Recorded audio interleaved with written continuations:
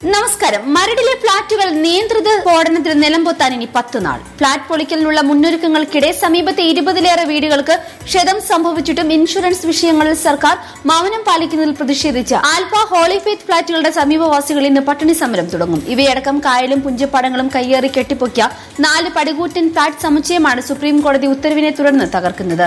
സ്ഫോടന വസ്തുക്കൾ സ്ഥാപിക്കാൻ ഫ്ളാറ്റുകളിലെ തൂണുകളിൽ ദ്വാരമിടുന്ന ജോലികൾ ഏതാണ്ട് പൂർത്തിയായി. സ്ഫോടന വസ്തുക്കൾ നിറച്ച ശേഷം തൂണുകൾ ഇരുമ്പ് വലകൾ കൊണ്ട് പൊതിഞ്ഞു കിട്ടും. സ്ഫോടനത്തിൽ കോൺക്രീറ്റ് പാളികൾ ദൂരേക്ക് തെറിക്കാതിരിക്കാനാണിത്. ആയിരത്തി അറുന്നൂറ് കിലോയോളം സ്ഫോടക വസ്തുക്കളാണ് നാഗ്പൂരിൽ നിന്നും എത്തിച്ചത്. അറുന്നൂറ്റി അൻപത് കിലോ അങ്കമാലിയിലും മൂവാറ്റുപുഴയിലുമുള്ള താൽക്കാലിക കേന്ദ്രങ്ങൾ സൂക്ഷിച്ചിരിക്കുകയാണ്. മറ്റന്നാൾ മുതൽ ഇത് ഫ്ളാറ്റുകളിൽ എത്തിച്ചു നിറച്ചു തുടങ്ങും. Jain Coral Cove Golden Kayaloram H two O Holy Faith Alfa എന്നിവയാണ് നീണ്ട നിയമയുദ്ധങ്ങൾക്കൊടുവിൽ തകർക്കുന്നത് മുന്നൂറ്റി അൻപത് ഫ്ളാറ്റുകളിലെ താമസക്കാർക്ക് ഒഴിയേണ്ടി വന്നു. ഏകദേശം ആയിരത്തോളം പേരുടെ സ്വപ്ന ഭവനങ്ങളാണ് മണ്ണടിയുന്നത്. കായലോരം ഫ്ളാറ്റ് നിർമ്മാതാക്കൾ മാത്രമാണ് സുപ്രീം കോടതി നിർദ്ദേശം പാലിച്ച് നഷ്ടപരിഹാര തുക കെട്ടിവച്ചത്. മറ്റുള്ളവർ തുക മുഴുവനും സർക്കാരിന് ഇതുവരെ നൽകിയിട്ടില്ല.